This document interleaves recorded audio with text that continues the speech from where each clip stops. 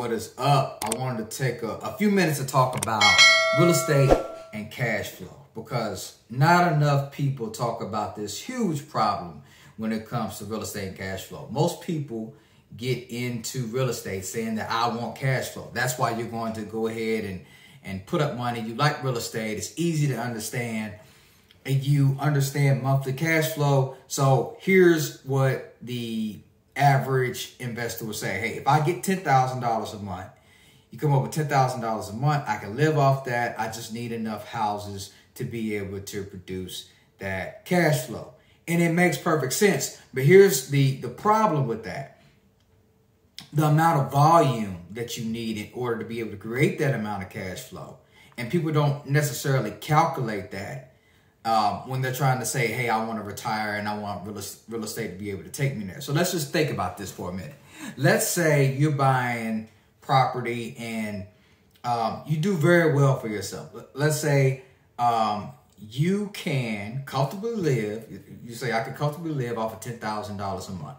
Don't know why, but that's a that's a number I hear a lot. People say, "Hey, if I had ten thousand dollars in in monthly income, passive income, I would be able to live off of that." Okay, fine. Let's just go with that number. So let's say you buy property after you pay principal, interest, taxes, insurance, reserves for capital expenditures, lawn maintenance, etc., whatever. Let's say that house is able to give you $200 a month. You know, if you got $200 off of a single family residence, you did okay. Right? But let's let's say that even if you you crush it, right? You're in a great market, you find great deals, and let's say you can move that number to $500 a month. So for every property you get, after you pay all the expenses, after you take care of capital expenses, you know, put away things for roofs, for um, hot water heaters, windows, etc. After you do all that, you still have $500 in monthly cash flow, right? At $10,000 a month, you need 20 houses to get to that number. Now, let's take it a step further and think about this a, a little bit more. If it's 20 houses and the average home that you buy costs you $200,000, depending on your market, that might be a steal or that might be, uh, in some markets, that's even a lot of money. Let's just use it for um, an example purpose here and say it's 200 grand.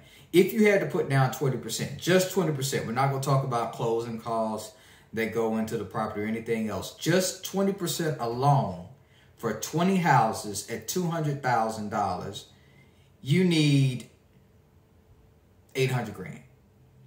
Right? That is um, make sure my math is right on there, right? You're you're buying 20 houses at 200,000, you need that's 400,000. Yeah, you need $800,000 in down payments. All right, just had to check myself.